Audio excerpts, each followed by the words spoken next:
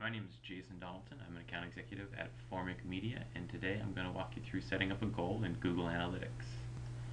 Um, the first thing you want to do is find the action that you want to track as a goal, and for this example I'm going to use our Contact Us form on the Formic Media website. So what you do is you go in and enter the information, and for this we're just going to do tests so we know whoever gets it can delete it, um, and it's not a real contact form submission.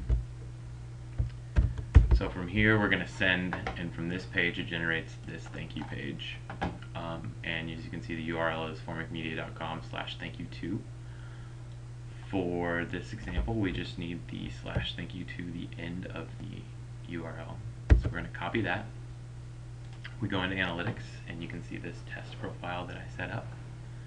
Go in and edit the profile and from there you can see goal sets 1 through 4. Within each goal set you can have up to 5 goals, so you can tra track a maximum of 20 goals per profile.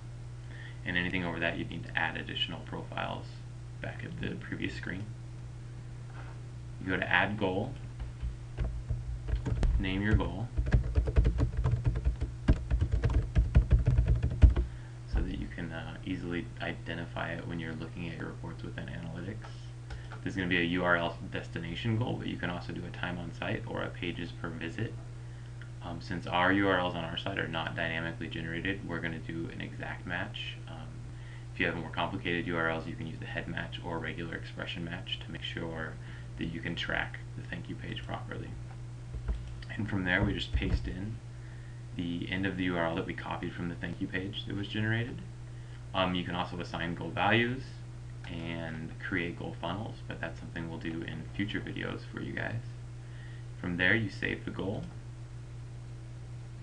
As you can see here, it's saved within goal set 1. If we go back to analytics settings, you can see this test profile.